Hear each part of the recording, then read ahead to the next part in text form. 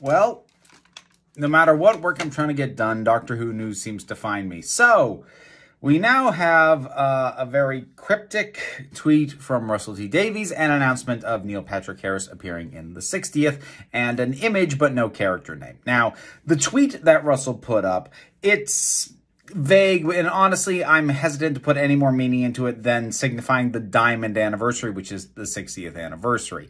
Maybe there's an alternate meaning to it, but let's be honest, I'm not great at speculation, which is why this is going up as a short, not a full video.